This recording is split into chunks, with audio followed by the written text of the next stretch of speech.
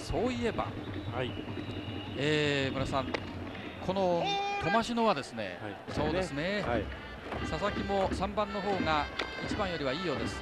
これは当たり損ない。ワンアウトです。やっぱり調子のいい選手というのは9番でいるよりも2番の方がいいんでしょうね。あもうバッターないか分かりませんけどね、ただあのね、えー、あそうですね、そういうことは言えますね。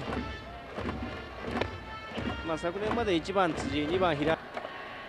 これは初球を打ってのライトフライ。おっと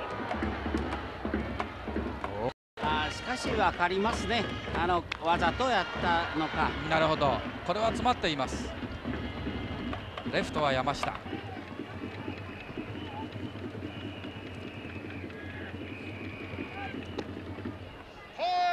のと見比べますと何かあ体が重そうそれから何か精神的に乗ってないような感じがしてなりません。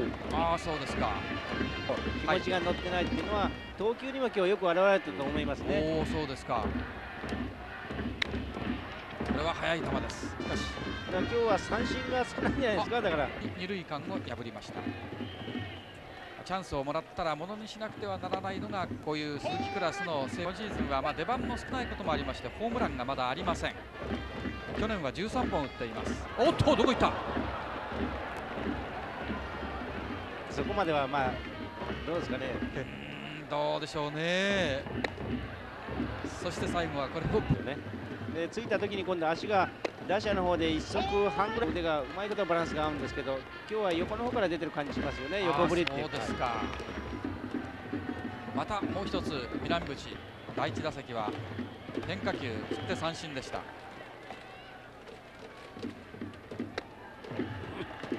打球を飛ばしますからね。そうですよね。この柿内は和歌山県の日高高校中津分校出身であります。ファーストフライ。愛子ロッテの小川ピッチングコーチなんですが、えー、今日の出来はどうですかと言いますと、まあまあ、これ普通じゃないのかなと、ほうほうほう。で今シーズンは、はい、でえーまあ、今日も序盤にね、あの2点でとどめたと、はい、それ以上取られてないんで、はい、この後はだんだんエンジンがかかってくるはずですよと、はい、そういう言い方トップのトマシノです。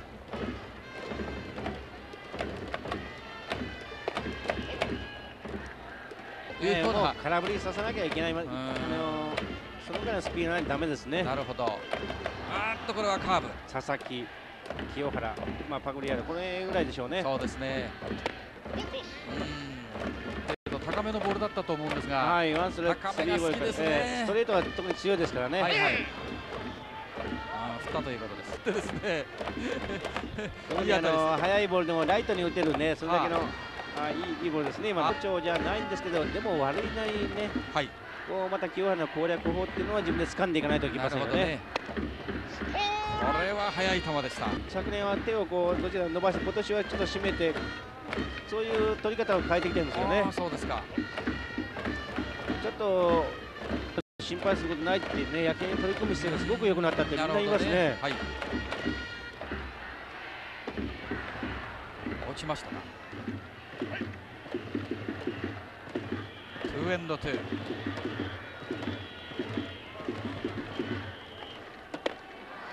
速い球来ましたイラブが意地を見せました。154キロいやうまくセンター前持ってかれましたが第2打席は詰まらせました。ただ見てる人は今打つとデカデカと出るけどイラブが三振を取るとあんまり出ないってね。ピッチャーのこれ宿命ですかね。そうですね。まあまた真っ向勝負とかそういう対戦もこう、はい、非常に見てる方にはワクワクするような感じしますよね。ですがやっぱり今年も西武かっていうような気にね 思わせましたもんね、あの3連勝は。水田選手だ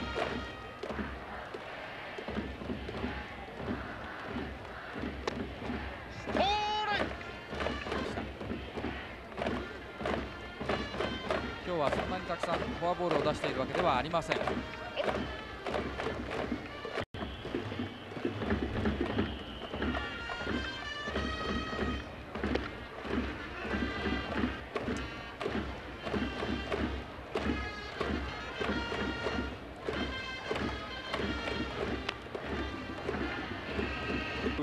していくかですね筋力を早く疲労していくように、はあはあ、まあ、それの管理も問題になりますよね。なるほどね。いいんですよね。だから防御率が2.20って粘りが出てきますよこれ。はい。トフライのね、ね。ね、はい、えー、あのじゃあこの鈴木健に打たれた先制タイムリーはまあしょうがないとしょうがないと思いますね。ね。はい、その後伊藤に。方でもうちょっと工夫していけばね防げていく私はそう思いますからね。なるほど。落とした。130右手の親指が傷んでしばらく戦列を離れたこともあります伊藤です。逆転満塁サヨナラホームランでしたね。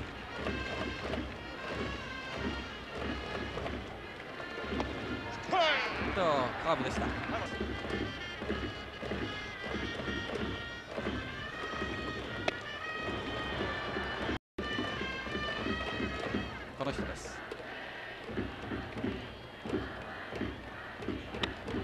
ええそうなるともうこうどっからもんで取ってほしいなっていう戦いリズムが狂う可能性がありますからね。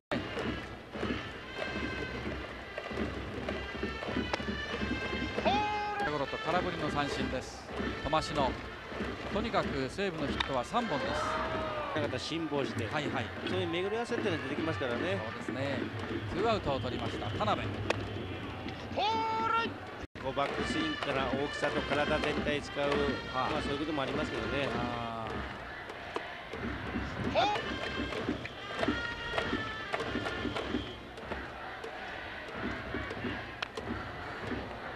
していきたいところですね、はい、落としました。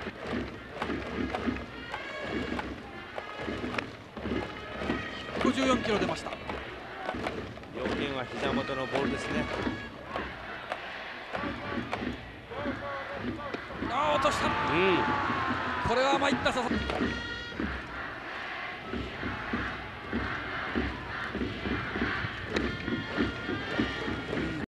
ここでフォアボールも出したくないっていう気持ちがストレート投げると思いますよ、それを待つ清原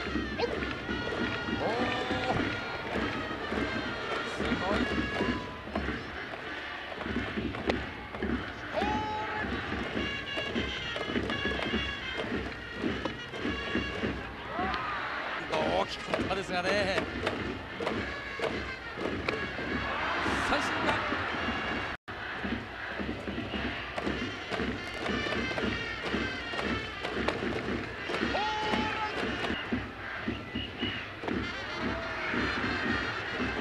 は速い球を投げるチャンス。落としました。フォークボールで